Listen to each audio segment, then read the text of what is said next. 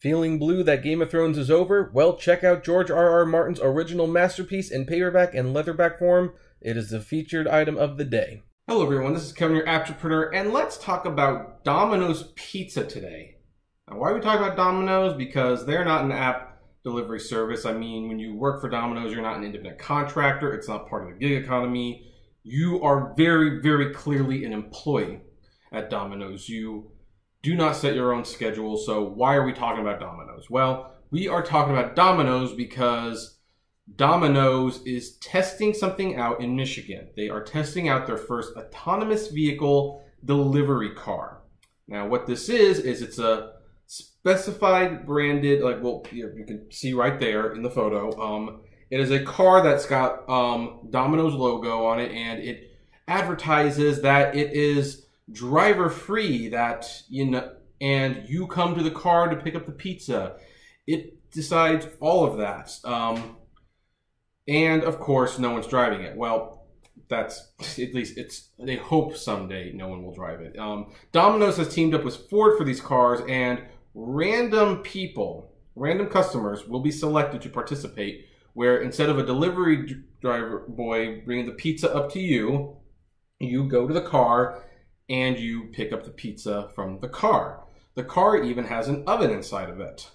Now, what's of course interesting about this test is that, first of all, it is on random customers, uh, and there is a mechanic who's in the car the whole time because these cars cannot drive themselves yet. I mean, they can, but they can't, so they need someone in there. So it's really not self-driving yet. I, I actually don't even know why they're even bothering with the self-driving test features. Why don't they just see if people even come to the curve? To pick up their food because um, I personally have done one food delivery for Uber Eats.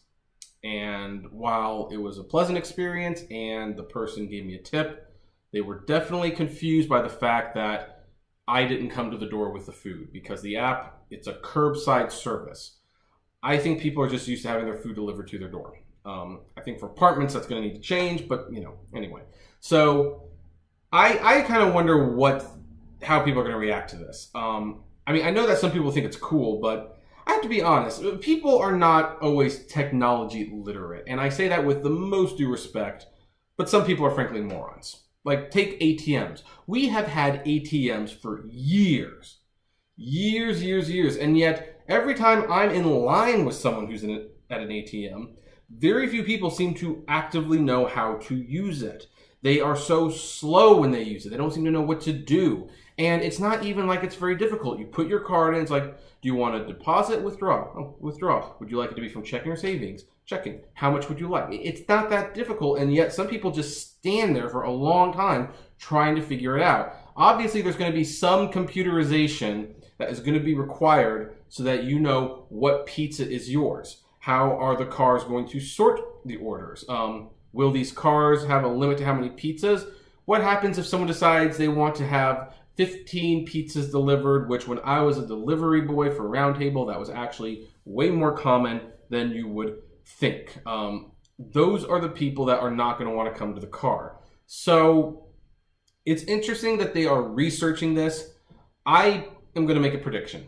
I personally predict that Domino's is going to put these cars out there. They're going to research them. It might even be a little successful this first time, but once they start expanding the test, and once they start putting into areas where people buy large quantities of pizza, or there's a city that they're going to be in, like a real city like San Francisco or San Diego or Los Angeles, they are going to find there are a lot of roadblocks. People don't want these things, or they're not convenient, and they're ultimately going to have to keep their delivery boys, which um, is all for the better, in my opinion.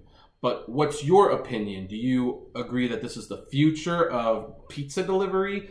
do you think Domino's will succeed, or do you think this is another pipe dream, um, just to kind of get investors excited about the possibility of the future without there being any tangible proof that this future is going to become a reality? I would love to know.